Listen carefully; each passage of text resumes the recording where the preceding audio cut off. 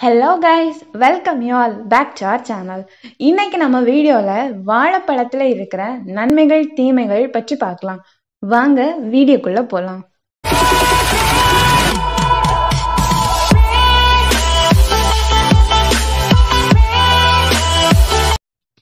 வாழைப்பழத்துல பதினாறு வகையான சத்துக்கள் இருக்கு அப்படின்னு சொல்றாங்க. அது மட்டும் இல்லாம முன்னாடி இருந்தே நம்ம எல்லாரோட வீட்லயும் டெய்லி ஒரு வாழைப்பழம் சாப்பிடு அப்படின்னு சொல்றது வழக்கம்தான்.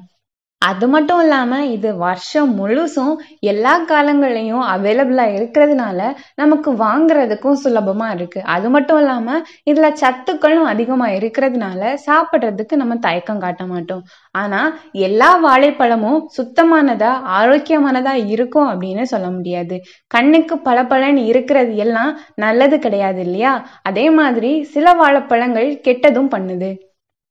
சத்துக்களே இல்லாம இருந்தா கூட பரவாயில்ல. ஆனா அதனால நமக்கு நோய்கள் தீங்கு அப்படி இருக்குன்னா நம்ம அதை சாப்பிடக்கூடாது தானே? அதை பத்தின அவேர்னஸ் கண்டிப்பா நமக்கு தேவைப்படுது இல்லையா?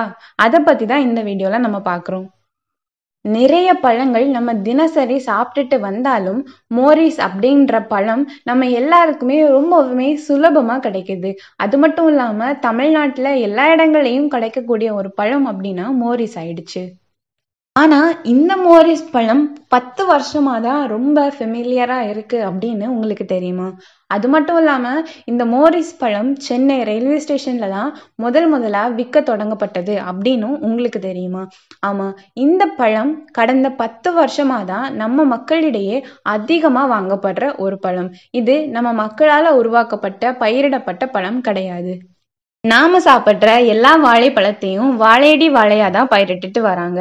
ஆனா இந்த மோரிஸ் பழத்தை அப்படி பயிரிடல. இத டிஷ்யூ கல்ச்சர் முறையில மரபணு மாற்றப்பட்டு அதனாலதான் பயிரிடுறாங்க. இத சாதாரண விவசாயியால பயிரிட முடியாது. மோரிஸ் பழத்தோட காப்புரிமை ஃபாரின் முதலாளிகள்கிட்ட தான் இருக்கு. அவங்க கூட யாரெல்லாம் டைரக்டா லிங்க்ல இருக்காங்களோ அவங்களால மட்டும்தான் இந்த மோரிஸ் பழத்தை பயிரிட முடியும். இந்த மாதிரி மரபணு மாற்றப்பட்ட பழங்களை சாப்பிட்றதுனால அலர்ஜி தான் வரும். இது இயற்கையான முறையில பயிரிடப்படல. அதனால இதுக்கு நோய் தாக்கம் அதிகமா இருக்கும். ஸோ செயற்கையா நிறைய உரங்கள் போட தான் வேணும். அது மட்டும் இல்லாம இதுல காட்டுப்பூச்சி கரப்பான் பூச்சி இந்த மாதிரி பூச்சிகளோட ஜீனை எடுத்து ஆட் பண்றாங்க. இதனால நிறைய மரபணு மாற்றம் இதுல ஏற்படுது. இந்த மாதிரி பல தடவை மரபணு மாற்றப்படுறதுனால இது தாவர வகையிலையும் வரல விலங்கியல் வகையிலையும் வரல. ஸோ இந்த மாதிரி இவ்வளோ டேஞ்சரான பழம் தான் நம்ம தமிழ்நாட்டில் இப்போ மேக்சிமம் அவைலபிளாக இருக்கு. இந்த மாதிரி மரபணு மாற்றப்பட்ட பழங்களை நாம கண்டினியூஸா எடுத்துட்டு வரதுனால சைனஸ் ஆஸ்துமா ஸ்கின் டிசீசஸ் இதெல்லாம் வர வாய்ப்பு இருக்கு. அது மட்டும் இல்லாம இது போக போக ரொம்ப கொடிய நோய் தொற்றுல கொண்டு விட வாய்ப்பு இருக்கு. அது மட்டும் இல்லாம சென்னைக்கு வர பழங்கள்ல மேக்சிமம் பழங்கள் ஆந்திராலேருந்து தான் வருது. அது மட்டும் இல்லாம ஆந்திரால இருந்து வரக்கூடிய பழங்கள்ல பாதிக்கு பாதி மோரிஸாக தான் இருக்குதாம். இப்படி பச்சை வாழைக்காய்களாக கொண்டு வரப்படுற பழங்கள் எல்லாத்தையும் ப்ரொப்பைலின் அப்படின்ற கெமிக்கலை யூஸ் பண்ணி பழுக்க வைக்கிறாங்க. இந்த ப்ரொப்பைலினை தண்ணிக்கு கூட மிக்ஸ் பண்ணி அந்த தண்ணியில இந்த வாழைக்காய்களை வாஷ் பண்றாங்க. இதனால பச்சை வாழைக்காய்கள் வாழைப்பழமா மாறுது. இந்த மாதிரி செயற்கை முறையில மாற்றப்படுற பழங்களை நம்ம சாப்பிடவே கூடாது. இந்த மாதிரி மரபணு மாற்றப்பட்டு பலதரப்பட்ட உரங்களை ஆட் பண்ணி அதுவும் போதாது அப்படின்னு சொல்லிட்டு லாஸ்ட்ல பழுக்க வைக்கிறதுக்கு கூட கெமிக்கல் ஆட் பண்ணி ஆரோக்கியமற்ற முறையில உருவாக்கப்படுற இந்த பழங்களை நம்ம கண்டினியூஸா சாப்பிட்டுட்டு வர்றதுனால வயிற்றுல கேன்சர் கூட வர வாய்ப்பு இருக்கு. இந்த மாதிரி பழுக்க வைக்கப்படுற பழங்கள் எல்லாம் அஞ்சு நாள் வரைக்கும் ஃப்ரெஷ்ஷான பழங்கள் மாதிரி புதுசாவே இருக்குமா? பார்க்கவே பழப்பழம் இருக்கிறதுனால நாம கூட அதை வாங்கி சாப்பிடுறோம். இந்த மாதிரி கெமிக்கல்ஸ் யூஸ் பண்ணி பழுக்கப்பட வைக்கிற பழங்களை நாம எப்படி கண்டுபிடிக்கணும்னா கெமிக்கலால பழுத்த பழம் அதோட தண்டு கூட மஞ்சள் நிறத்துல தான் இருக்கும். ஆனா இயற்கையாவே பழுத்த பழத்தோட தண்டு பச்சை நிறத்துல இருக்கும். ஆனா பழம் மஞ்சள் நிறத்துல இருக்கும். இதை பார்த்து நீங்க இனிமே கவனமா வாங்குங்க.